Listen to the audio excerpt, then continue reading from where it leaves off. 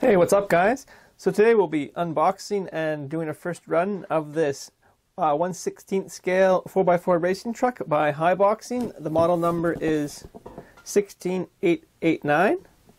Just have a quick look at the box before we look at everything else. There's not too much on here. Mostly just warnings and whatnot. It does show you the optional upgrades here. And the length and width and all that sort of stuff up here at the wheelbase. So now that that's out of the way, let's get rid of the box. It does come with a manual here. I haven't opened it up yet, so let's get in here and see what the manual's like. There we go.